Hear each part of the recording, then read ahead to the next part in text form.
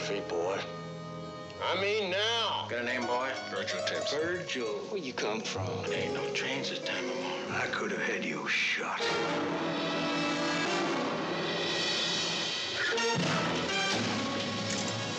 Skull's caved in. Could have been a hitchhiker.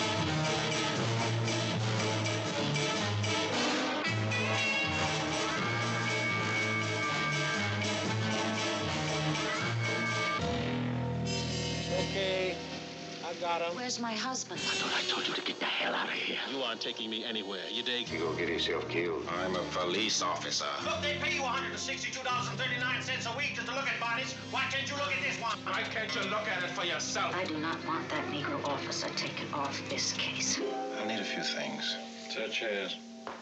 Ammonium hydrosulfide, benzidine, superoxide of hydrogen, copper powder, distilled water, calipers, and some toothpicks. Why won't anybody here tell me what's happened to him? Are you sure you're pregnant? Yes, I am pregnant. I can pull that fat cat down. I'm afraid you're a little late, Virgil. We already got the guilty man.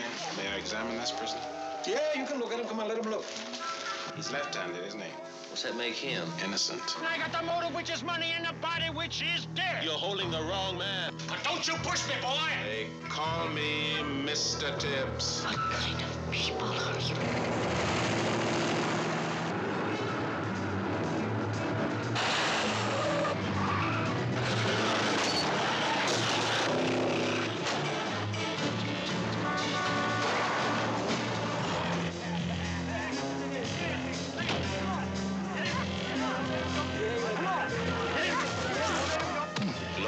Purse.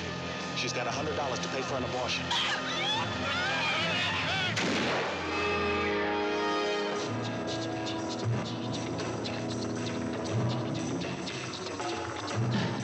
In the heat of the night,